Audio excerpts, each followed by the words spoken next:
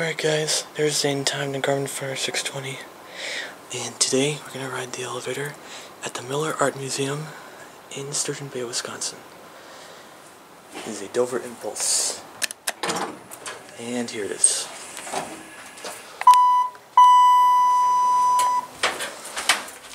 So now let's head to the basement.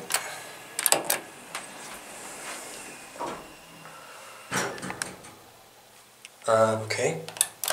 Looks like the basement's locked. Guess I'll go up to two instead. Basement wasn't locked on elevator in the library, but I guess on this one it is. Anyways, here are two. For some reason this one doesn't have the Northwestern logo since Northwestern generally is a distributor. So anyways, let's head on the one.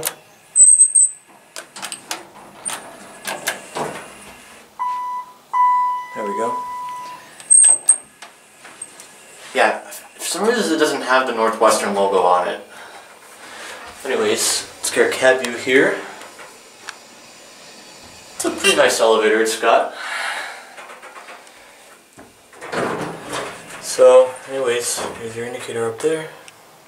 Here are your fixtures. And there's your phone here.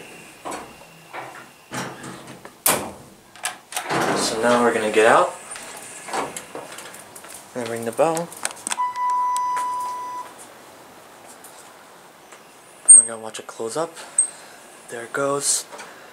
Oh yeah, also it seems like the mezzanine level is being closed temporarily, which you might saw by those like boxes placed up there, so pause you want to read this sign.